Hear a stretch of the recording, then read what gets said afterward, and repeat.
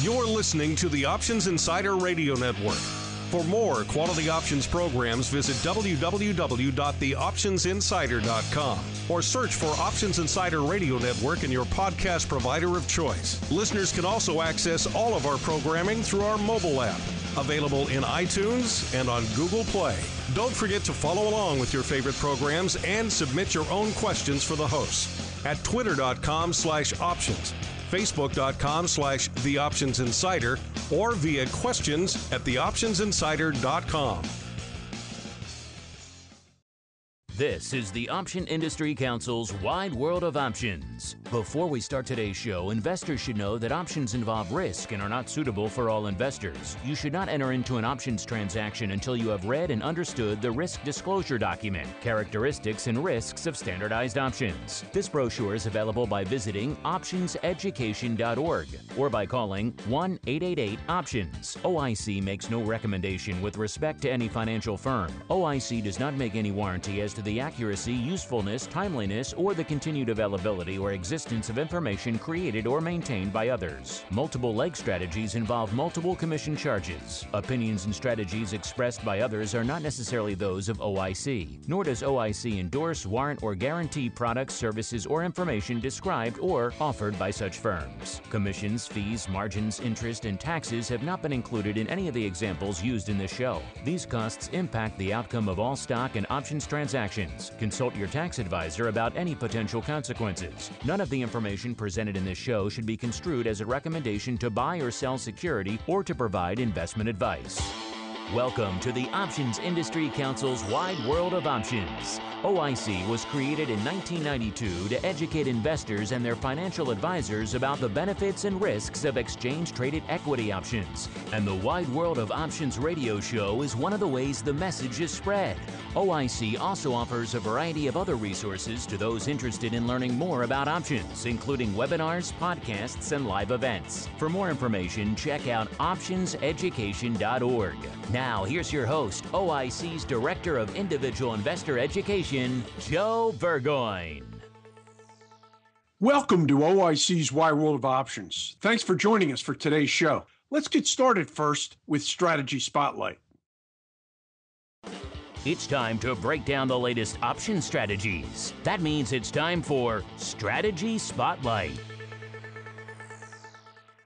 Joining us today on Strategy Spotlight is my colleague, Ed Modla, manager of OCC's Investor Services. Welcome, Ed.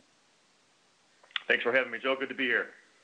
Uh, thanks for making it time. As as we get started, how about if uh, you want to tell our listeners a little bit about yourself and your responsibilities at OCC?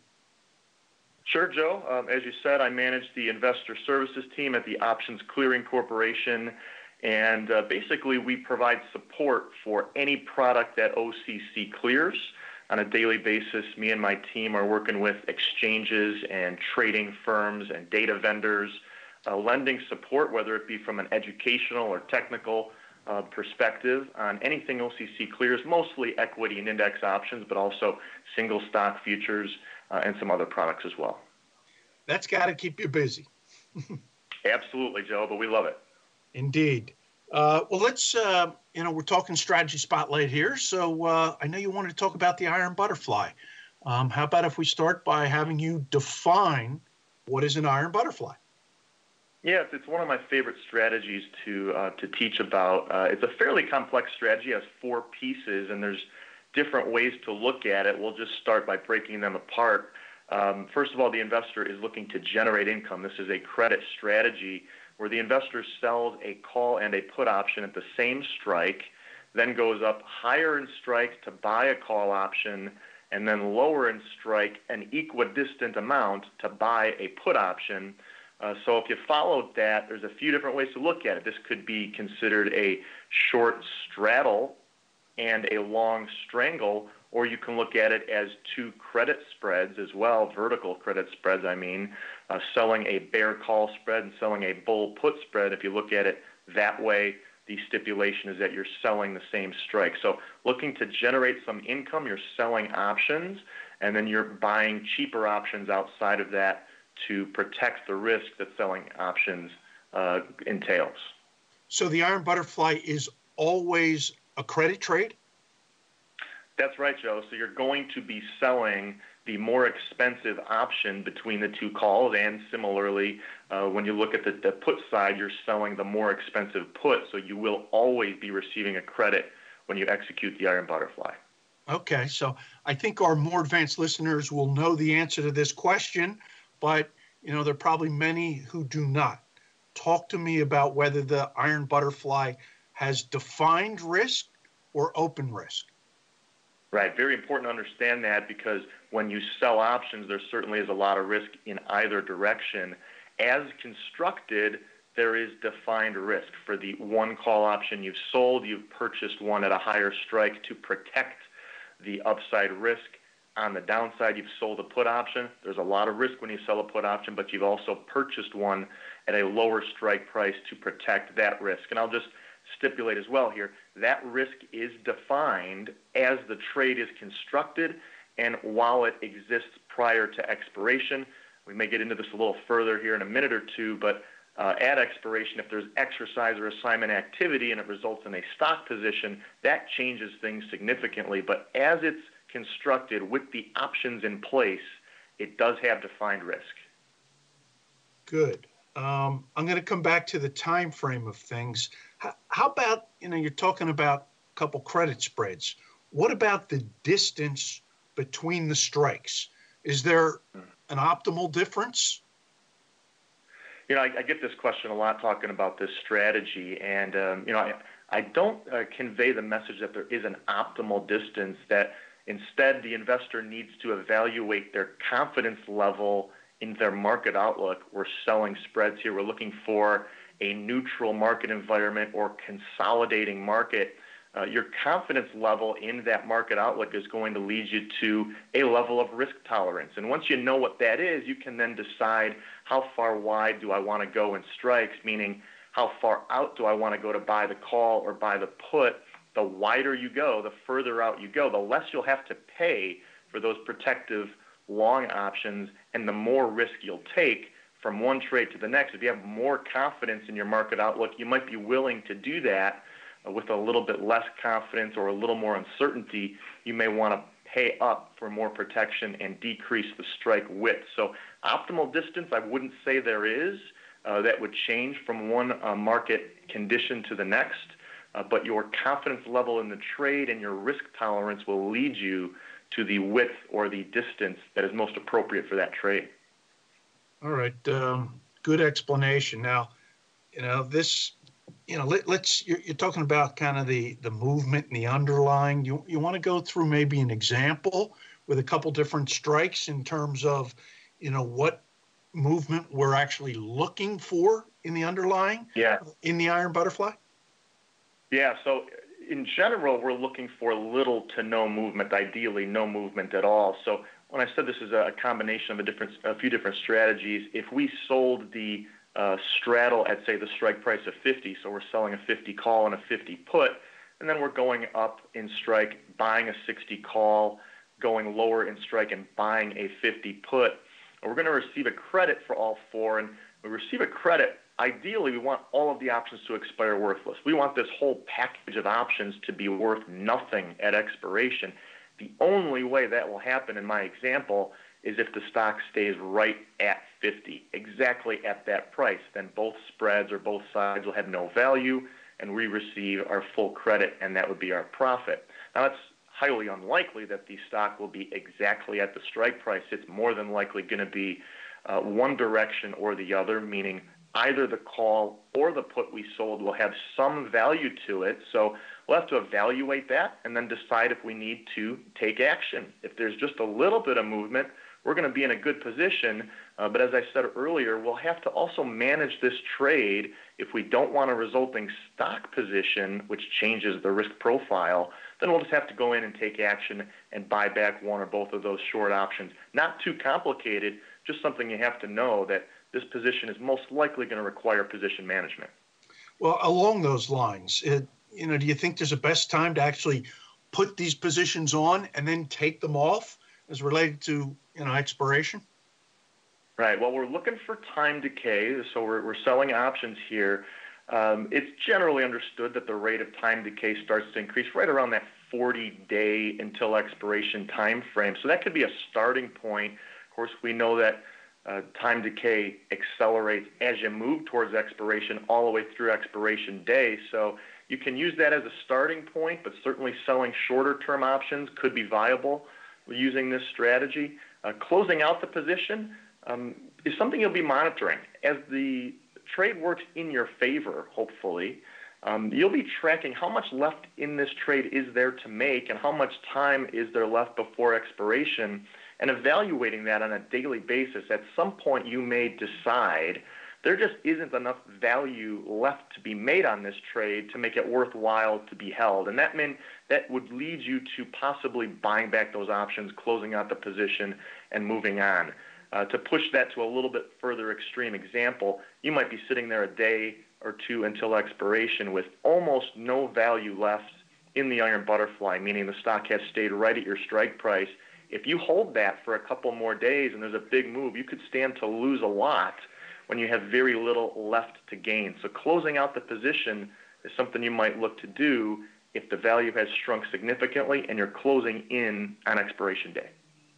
Okay. Um, so the target for the stock, uh, as you after you initiate the position, is for it to hang around that short strike, and then the worst case scenario is for the stock to move either the upside or downside to that long strike. Correct?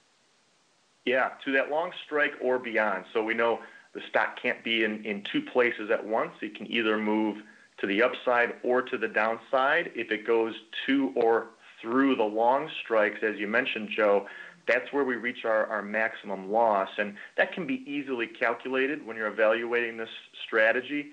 The distance between the strikes, the strike we sold and the strike we bought, is how much we might have to give back at expiration, worst case scenario. So the loss would then be that amount or that width between the strikes minus the credit we received up front. Or as I explain it, uh, usually in the reverse order, we were paid up front a certain amount of credit. In the worst case scenario, we have to give back the distance between the strikes and the difference between those two dollar amounts is a potential loss for us. You can calculate that right up front. We said that earlier. It's defined risk, and then you can evaluate your risk reward profile from there. Dynamite. Always, um, at least for me personally, I always like those strategies where we do have defined risk. One last thing, um, maybe a little bit of a curveball. You know, we get so many crazy names in the options business. You know, with strategies. We've got uh, right. the iron butterfly we're talking about.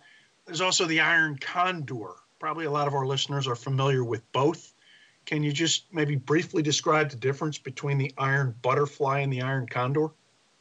Yeah, it's, it's a great question. I'm glad you brought it up because there's a lot of similarities here. And you're right, the iron condor has a lot more popularity to it. A lot of listeners may trade iron condors, but might not be as familiar with the iron butterfly. Their construction is very similar in the sense that you're selling a more expensive call option and buying a cheaper one for protection, and then on the other side, selling an expensive put option compared to the put option you're buying. All of that's the same. The only difference with the iron butterfly is the strike that you've sold is the same for the call and the put. The rest of the profit and loss graph looks the same. So from a risk perspective, the iron butterfly will receive more premium. You're selling two options at the same strike. They're going to be closer together, likely at the money strike. So you'll receive more up front, and it's very likely that you're going to be taking on more risk. So if anyone's trading iron condors, if there is a situation where they are extremely confident that the move in the underlying will be very small in nature or a consolidating move, the iron butterfly could be an option because you are increasing your potential return, along with it, increasing your potential loss or risk. But that might be a decision you're willing to make and willing to take on because your market outlook is more confident. And so the Iron Condor, uh, of course, is a great trade and certainly has defined risk. But usually, in comparison to the Iron Butterfly, your credit will be lower and your potential loss will also be lower. Nothing wrong with that. Um, but in those situations, as I said, where your confidence is higher, you may will be willing to take on more risk. And I'll just repeat with the iron butterfly, it's very likely that you'll have position management to do. With the iron condor, what you're hoping for is the The stock stays in between your short strikes, and you don't have to do anything at expiration. And believe me, I've talked to plenty of investors that try to select short strikes that the stock will not get to, so they don't have to take any position management. They let their options expire worthless and move on to the next trade. Keep in mind with the butterfly, it's very unlikely that both of your options are going to expire worthless. One of them, uh, the short options I'm referring to, one of them is likely going to be in the money and might require some action on your part to avoid a stock position. I'm glad I asked. Great, uh, clear description. Thanks, Ed. How um, yeah. how do investors reach you or your colleagues, Bill and Mark, uh, at the OCC if they have option-related questions? So uh, a couple ways. We are at our desks on trading days, um, 8 p.m. or 8 a.m. to 4 p.m. Central. Uh, we respond to emails um, every single business day, and that's uh, options at theocc.com. We also have a live chat during the morning and afternoon hours where investors can reach us live, and you can find both of those pieces of contact information at the OIC's homepage, so optionseducation.org on our homepage near the top, you will see a contact investor services link, and that will take you to references to both our email and chat functions. And we welcome all questions. That's what we're here for. We love doing it, so we'd like to hear from all your listeners. Fantastic, Ed. Um, you know, great way to wrap it up. Any other closing thoughts? Well, I'll just I'll just reiterate, Joe. This is a credit strategy, and so the Iron Butterfly with these different moving pieces does require some management. Like I talk about with a lot of investors when I speak with them, when you're trading options, especially the more complex strategies, you are monitoring your account actively and you have a game plan. You know what you're going to do if the underlying makes certain moves. So with this strategy and many others, for, forecast what the underlying might do that works for you and also be prepared for what might work against you and how you'll take action. That's always a good um, a process to take on and a good habit to get into. Look ahead and take the appropriate action, and don't be surprised. Fantastic. Yeah, well, again, uh, you know, it's great to have you offer such a clear explanation for both the Iron Butterfly and Iron Condor. We appreciate you joining us on today's Strategy Spotlight. Have a great rest of the day. Yeah, my pleasure, Joe. Thanks for having me. Now, let's meet the movers and shakers from the world of options in profiles and perspectives. Joining us today on Profiles and Perspectives is the new Vice President of Education at the Options Industry Council, Paul Finnegan. Welcome, Paul. Well, thank you, Joe. It's uh, you know great to have you as uh, the leading member of our team. Um, you know, how about if we get started by talking to our listeners a little bit about maybe uh, your experiences and journey through the financial industry prior to joining OCC. Well, Joe, I'm not exactly sure if our listeners are going to find my background very interesting, but um, I certainly have enjoyed very much, you know, participating in financial services and the financial services specifically in options um, over the last 20 years. So I'm definitely aging myself with that statement. Um, you know, I've worked for a variety of firms under a variety of scenarios, and um, i feel very fortunate that I started my career in the options industry. You know, when I look back, there were two situations um, that probably impacted the direction that I took in regards to pursuing a career in financial services. And Joe, please stop me at any moment if you feel that this is going way off the um, way off the spectrum, or if you think it would be interesting, in, interesting, you know, to our listeners. But um, when I was in grade school, I, I, I used to cut my neighbor's lawn, and um, at Christmas time, he gave me an envelope, and you know, I was expecting my normal, you know, twenty dollar Christmas bonus for shoveling his snow and cutting his lawn.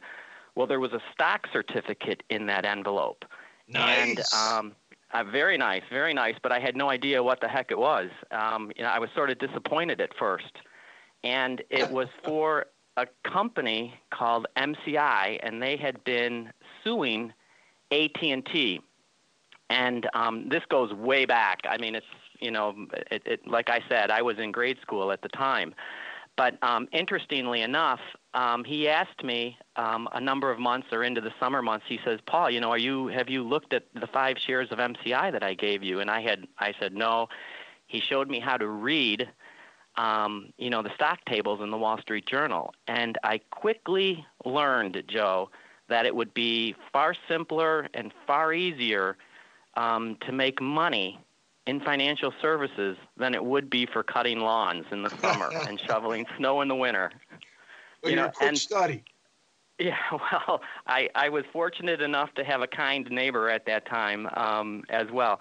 And then the second thing that really impacted my, you know, my decision, or to sort of, um, I, I guess where I started off at was, um, I was employed at the CBOE, and they had introduced a new program, a new product called Leaps, and um, I got heavily involved in that in that program, and you know, it was sort of off to the races at that point. So that's just a brief background. Um, you know, I'm probably one of the few people, Joe, that you'll have on the line that can, um, you know, make the statement that, um, you know, I've I've worked for five years at the NYSE, five years at the CBOE, and five years at the Chicago Board of Trade, and I'm very very fortunate to join, you know, the team that we have, including yourself here at the um, OIC. Well, um, you know, we're just uh, very excited to have you join, Paul. A couple great stories there. Love the history. Um, what what is it that really, um, I guess, brought you to the OCC OIC? Why why did you want to join us? Well, you're asking some pretty tough questions. I feel like I'm going through the interview process again.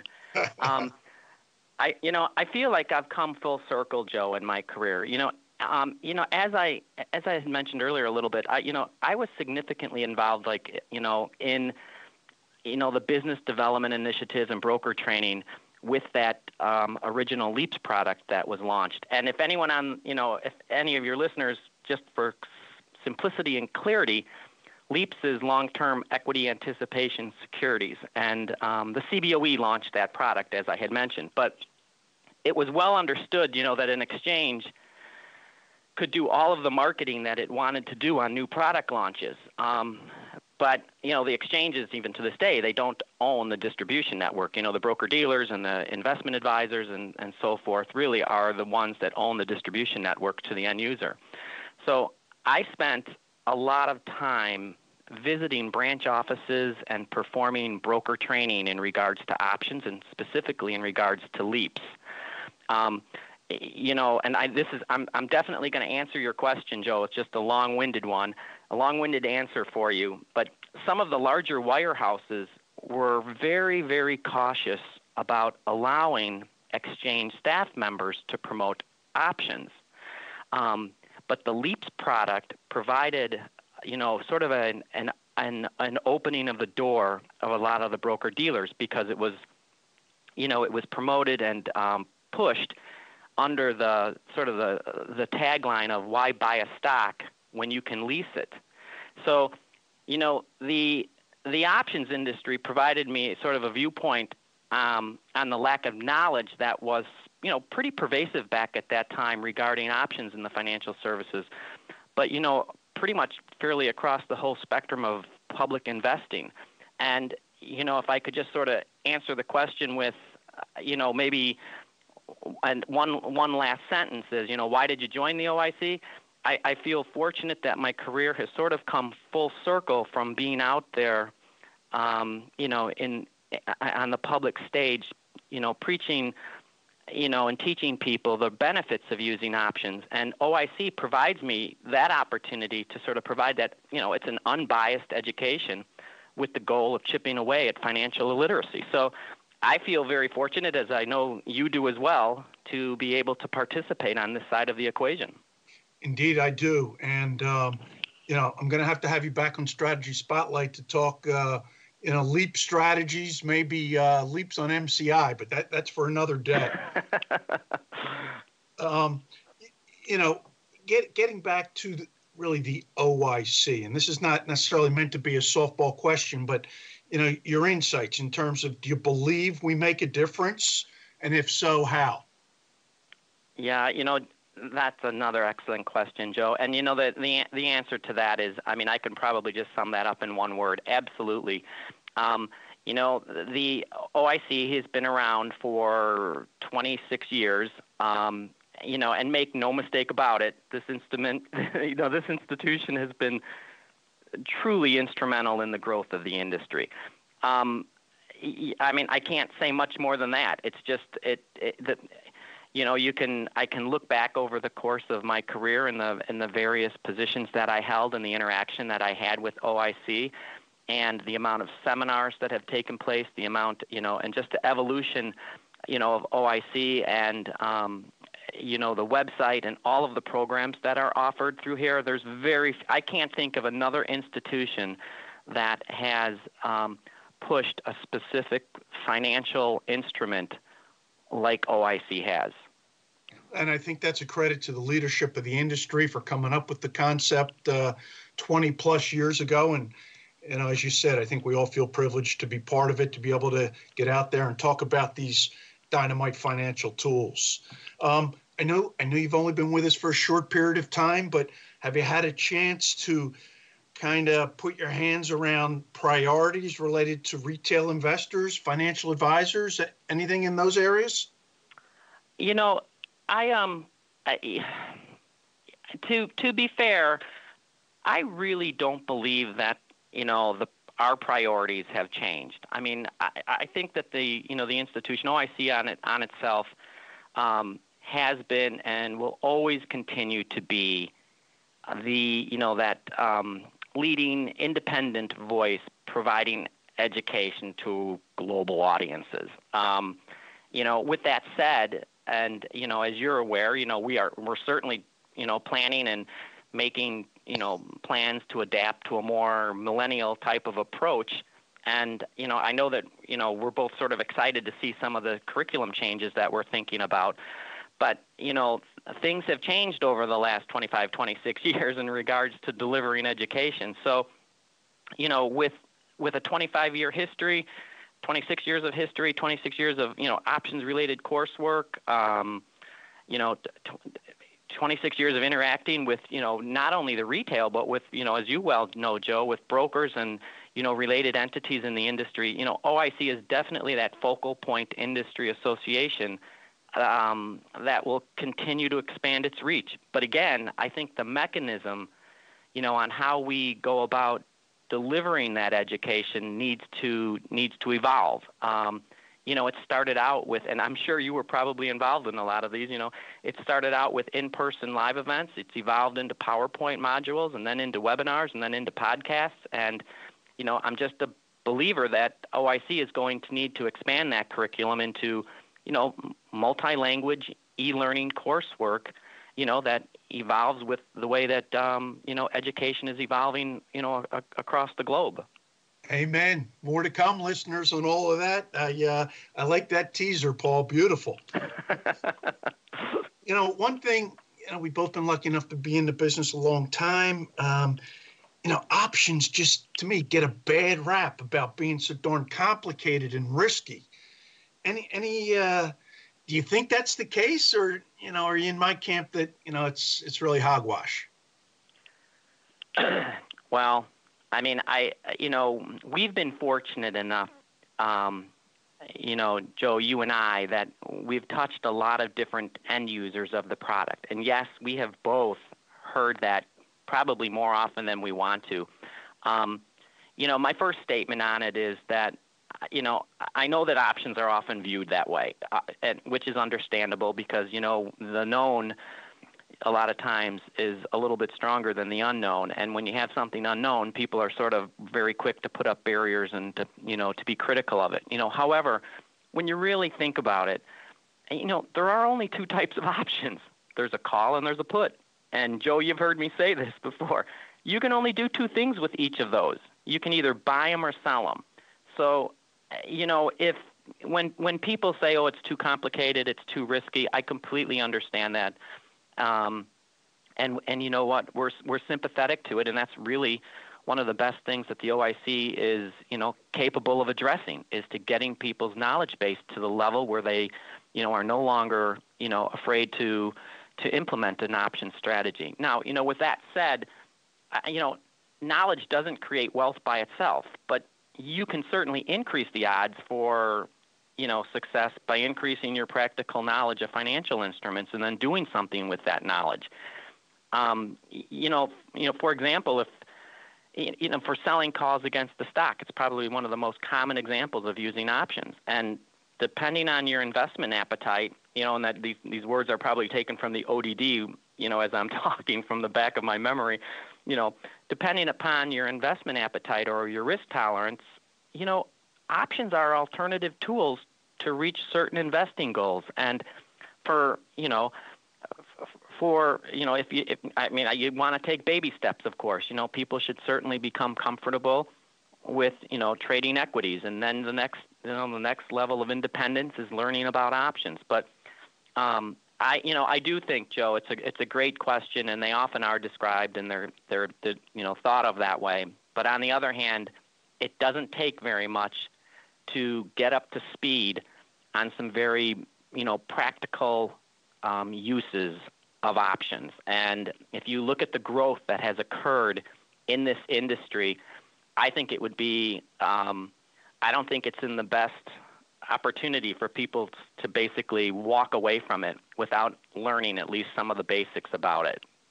Well, along those lines, and, and kind of following up, and maybe my last question for you, Paul, I, you know, I believe strongly our mission is to build that base of knowledge to get our listeners and investors to the point where they either have or don't have the confidence to use the product. Any, right, any, right. You know, it, it, you know, because as you say, we're the beauty of, of, of the OIC is its independence and its ability to be unbiased. So, any guidance in terms of helping to get investors to that point of making that you know informed decision about whether options are for them or not? Well, I mean, Joe, I'm going to try to not do so much of a sales job on this, but you know, we're both very, very passionate about the OIC, and you know, I I feel fortunate. You know, my mother was a school teacher in the Chicago public school system for over 25 years, and my mom has never quite understood what I have done over the last 20 years. But now I have an easy an easy definitive answer that I can tell her. I said, "Mom, I, I joined your ranks. I'm a teacher." And you know what? The OIC basically provides that guidance um, for people that are interested in learning or trading options. I mean, you know, you look at you know the option seminar instructors. Um, you know, they're they're going to provide a really balanced approach um, when new people are you know um, come into the industry and want to learn about the product. Um, you know, OIC has created content that is I'm going to say is beyond comparison of any other resource that's out there. Um, all of the appropriate compliance and um, legal safeguards are in place. It's just a great place, you know, to start with if you want to learn about options. And you know, I can't say enough about all of the broker dealers and the advisors that are out there that you know the general public may use. You know, I think it's important to realize that a lot of those broker dealers um, big wirehouses and advisors, they use our materials. Um, you know, we have a number of partnerships with, you know, uh, quite a quite a few industry participants that have realized, um, you know, they don't need to do the the basic type of education any longer because OIC provides that resource. So it's really just a massive resource that is available um, for free and unbiased um, knowledge base that people can go to. And I mean, if you think I'm missing anything, Joe, please you chime in here at any moment. But that's how that's how I would address the whole you know the whole issue about guidance and for you know and for for individuals you know deciding if options are something that they might want to pursue. Fantastic, Paul. I think you hit the nail on the head. Um, you know, I really appreciate you taking the time today to. Uh, really introduce yourself to uh, the listeners of Wide World of Options. Uh, and any closing thoughts before we wrap it up? Well, I didn't see that one coming, but I tell you what, my last closing thought would basically, I'll put my last plug in for, for our great institution. Um, you know, I'd tell listeners, you know, come visit optionseducation.org. And, um, you know, I think the materials and the resources that we have um, will speak for themselves. Well, Paul, um, you know, we feel very privileged to have you part of the team. Um, look forward to your leadership as we move forward. And thanks so much for joining us today on Wide World of Options Profiles and Perspectives. Thank you very much, Joe. I really appreciate it. Next, Let's upgrade your options toolbox with cutting edge trading platforms, devices, and information. Let's talk about tools, resources, and good reads. Let's get right to it for today's tools, resources, and good reads. The tool I'd like to bring to your attention is a website that specializes in options. It's marketchameleon.com. All you need to do is plug it into your browser, and immediately you'll see all kinds of stats and details on the options market. Also offered on the site are free customized watch lists. So check out marketchameleon.com. That's M A R K E T C H A M E L E O N.com. Now, today's resource, and I've mentioned this before, but we've got a new and improved website at the OIC. So you got to check out optionseducation.org. It's been streamlined, updated.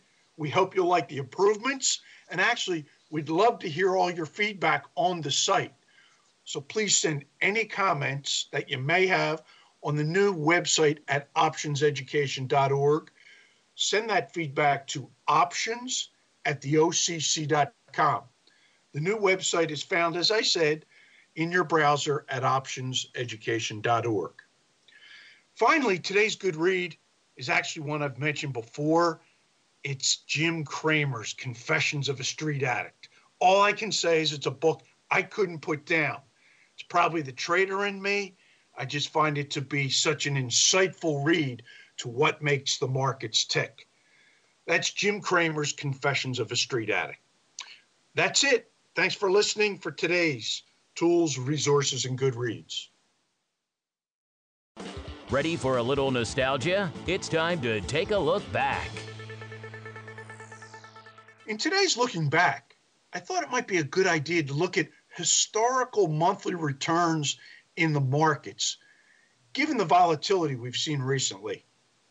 So I want to you know give a shout out to Yardeni Research, the S&P, as well as Harvard Analytics, and I'm taking a look at the S&P 500 monthly returns over the past 90 years. So we're talking about from 1928 to the current 2018. Monthly returns of the S&P 500 per month are the following. The best return month is July at 1.6%. The worst, and no, it's not October, the worst month for a return in the S&P 500 over those 90 years is September at minus 1. So on the plus side, December comes in second at plus 1.4%. April's next at plus 1.3, then January at plus 1.1. Five other months come in with positive returns ranging from plus seven tenths to plus four tenths percent return over those months. On the negative return side, besides September, which I mentioned comes in at minus 1, only February and May are the other two months with negative returns in the S&P 500 and both negative returns come in just barely negative at minus one tenth of 1%. I hope you find these numbers interesting, maybe a bit surprising too. That's today's Looking Back. We love connecting with our listeners. With that in mind, let's take a moment to answer a few questions on OIC's Wide World of Options Q&A segment. It's time for listener questions in today's industry happenings. Salsa asks, pennies, do they help or hurt options? Well, for those of you not sure about the question, Salsa is asking about penny wide markets in listed options. My answer to this is that penny wide markets are good for the options markets. The tighter the bid offer spread, the better it is for investors to both buy and sell at the most competitive price, therefore, often reducing the cost of both entering and exiting a trade. As many of you know, not all listed options have penny wide spreads. Wouldn't that be nice? Our next question comes from Lonesome. how do you manage and define risk within your option trades? Great question, and it speaks to the heart of how and why investors choose to use options, these dynamic financial tools. Could be a long answer, but I'll try to keep it short.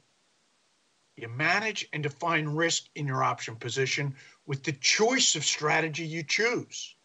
This is where education comes in. Some strategies involve the underlying and options, some just one option by itself. Other strategies are created with multiple option legs. All of these choices have different risk profiles, every one of them. That's why I said that's where the education comes in. You can use our website, optionseducation.org, as the resource to define your option strategy risks. Generally speaking, long option positions have defined risk, where net short option positions may have substantially more or unlimited risks. The devil's in the details.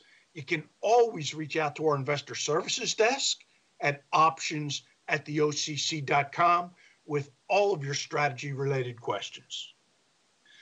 Last thing on this is as the underlying moves, option strategy risks often change. That's the next risk you need to be aware of and manage. Your appetite for risk will often define how far you want to let your underlying position run. So, in addition to optionseducation.org, you'll find excellent risk management tools on your brokerage house websites and some of the option exchange websites as well. Today's last question comes from Galleon. He asks, I need an income trade that produces 7 to 8% per year. What should I be looking for? Well, Galleon, you're asking for income producing type trades, credit trades versus the trades that cost money to initiate or debit trades. Here's a list of income producing trades you may want to investigate covered calls, cash secured puts, bear call spreads, bull put spreads, iron condors, and iron butterflies. These are six you'd like maybe to consider. I urge you to use the resources of OIC as well as the brokerage house websites and third party option sites to help you to decide which of these strategies works best for you from both a risk perspective as well as a capital perspective. Thanks for the thoughtful questions today. Keep them coming. That's it for today's industry happenings. You've been listening to the Options Industry Council's Wide World of Options. If you have questions about anything you've heard on today's show, email Joe Burgoyne at options at the OCC.com or visit optionseducation.org and chat with Investor Services. Interested in connecting with OIC on social media? Like the OIC page on Facebook. Follow them on Twitter at options underscore edu and Instagram at options education and follow their page on LinkedIn. Thanks for listening and be sure to tune in to the next episode of Wide World of Options. Preceding program was a production of the Options Insider Radio Network. For more quality options programs, visit www.theoptionsinsider.com or search for Options Insider Radio Network in your podcast provider of choice. Listeners can also access all of our programming through our mobile app, available in iTunes and on Google Play. Don't forget to follow along with your favorite programs and submit your own questions for the hosts at twitter.com slash options, facebook.com slash the Options Insider, or via questions at theoptionsinsider.com.